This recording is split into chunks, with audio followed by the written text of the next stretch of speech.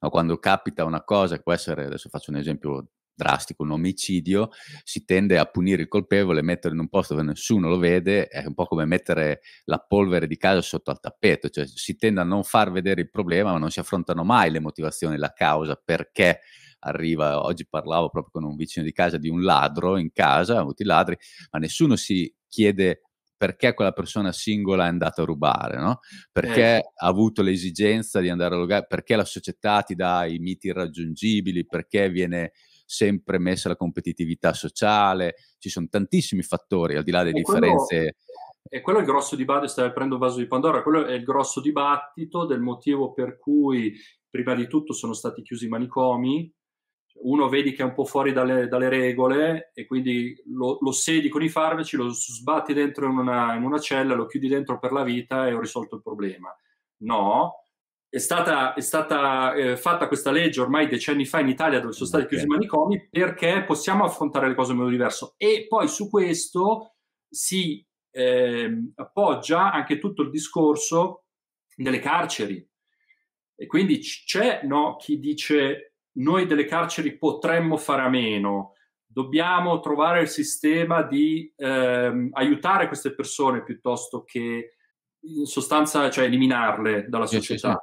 È questione di ricerca della causa, no? Cioè, un conto è fermarsi al sintomo e un conto è ricercare la causa. Per ricercare la causa è un meccanismo sicuramente molto più complesso, no? È molto più facile e anche molto più difficile venderlo no? è molto più come tu hai detto perfettamente, se te scopri ricerchi la molecola, ricerchi eh, l'enzima, ricerchi il prodotto che ti dà una soluzione facile, eh, vendibile e che eh, lavora sui sintomi, sei quasi sicuro di venderlo, mentre se tu fai una retroingegneria personale dove vai a investigare sulle cause sociali eh, sulle cause de, de, de, culturali, ci sono tantissimi fattori wow. eh, di alimentazione. Ciao, è proprio un processo opposto, ma, infatti, ma... Questo è quello che facciamo noi, cioè la nostra prospettiva solo, sulla salute è questo, cioè ogni persona la, cioè dovrebbe essere approcciata in modo completamente soggettivo, quindi non è effettivamente un prodotto scalabile. Cioè io, eh, quello, l'unica cosa che infatti posso fare io nella, nel mio lavoro in termini economici è insegnarti questo punto di vista, questo modello della salute, ma non avrà mai un prodotto da venderti secondo le leggi biologiche che così stai meglio. E quindi, infatti, non è, un pro- non è una cosa scalabile dal punto di vista industriale. E allora è un bel casino, perché tu, ogni medico dovrebbe, oltre a dare il farmaco che ti aiuta dal punto di vista sintomatico, entrare nella vita della persona, tra l'altro in punta di piedi, con una maestria che, che, i medici oggi non sono formati ad avere e, e, e aiutare questa persona a sbrogliare appunto la causa della sua malattia piuttosto che della sua psicosi. Perché adesso noi stiamo parlando di queste, tu parlavi del ladro, parlavi, parlavamo anche de, de, dei manicomi, cioè persone che hanno comportamenti che sono eh, strani, eh, a volte borderline a, livello sociale, ma le cinque leggi biologiche ci danno una spiegazione, quindi una eziologia anche di questo in maniera molto precisa, capito? Quindi se uno è, che ne so, compulsivo, ossessivo compulsivo, non è a caso perché è nato così, ma perché ha delle particolari situazioni nella sua vita che lo portano a, a, a comportarsi così ed è biologicamente sensato che sia così. Allora un medico eh, psichiatra non, non, sarebbe più solo uno che ti prescrive il farmaco per, per, un po' calmarti, per stordirti, per fare in modo che queste manifestazioni di comportamento non, si, non vengano fuori. Ma sarebbe uno che invece ti aiuta proprio da questo punto di vista personale a, sentire qual è la causa, il motivo per cui sei così ossessivo compulsivo e lo vai a vedere nella sua vita. Questa cosa i psichiatri assolutamente non lo fanno, forse un po' gli psicologi, ma il 99,99% di queste persone non conoscono queste, ehm, queste, correlazioni.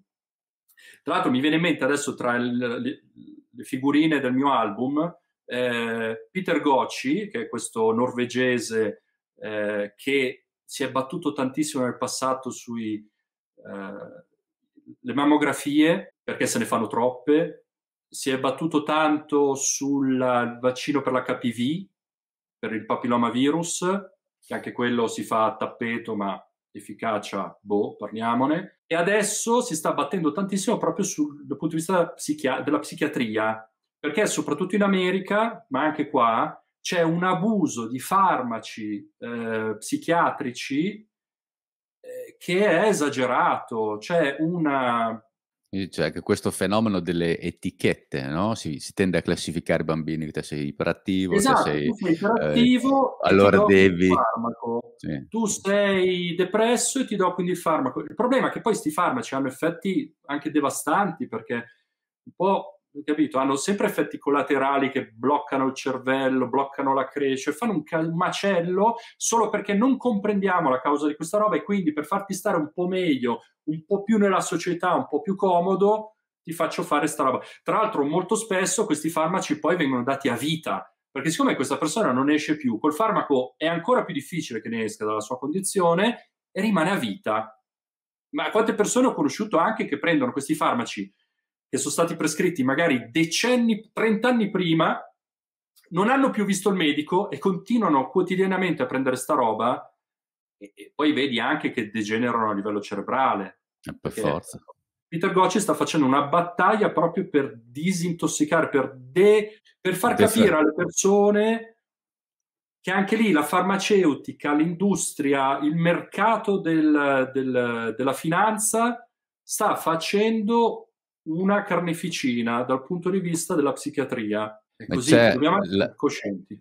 Sì, sì, la, io direi che a questo punto possiamo chiamarla sovranità individuale, più che una sovranità solo strettamente legata a uno di questi, come la farmaceutica, ma come l'alimentazione, no? eh, e tutte le, valutare tutte le influenze esterne che distruggono questa sovranità, che decentralizzano, no? che ti spostano eh, l'interesse, che fanno entrare interessi enormi nella vita di una persona che per questo è difficilissimo anche combatterli perché sono strutturati per eh, super finanziati, hanno un sacco di... Sì, eh, di... Ma, ma, io dico, non è che, non è che una cosa... Mh, cioè, la, la, capiscono tutti perché si rendono conto che l'industrializzazione ci ha portato in tutti i settori a questa, a questa situazione. Però dobbiamo comprendere che non è tutto il mondo della ricerca, tutto il mondo dei medici fatto così. C'è una, un grosso fronte di persone che lavorano basandosi sulle evidenze e che fanno anche una guerra personale quotidiana e noi dobbiamo semplicemente esserne coscienti ed essere in contatto con questi personaggi. Adesso ti, ti, ti leggo gi- giusto una frase eh, di un, un, altro delle mie figurine, Richard Smith, che era un ex caporedattore del British Medical Journal. British Medical Journal santo perché ha tirato fuori dei personaggi. E Richard Smith, guarda, nel 2012, perché questo è un mio articolo che ho scritto, che cito, è un po' vecchio, però cosa diceva? Parlava della, viene chiamata anche slow medicine, cioè sai c'è slow food, c'è anche questa medicina sobria che non è tutta di corsa a caccia dei mostri, ma ragionata, eh, fatta con responsabilità. E lui diceva nel 2012 le caratteristiche dei sistemi sanitari sono la complessità, l'incertezza, okay, l'opacità le misurazioni scadenti, la variabilità nella presa delle decisioni, la simmetria nell'informazione, quindi c'è appunto questi media che ti dicono tutta una cosa, però poi i dati veri sono occultati, i conflitti di interesse e la corruzione.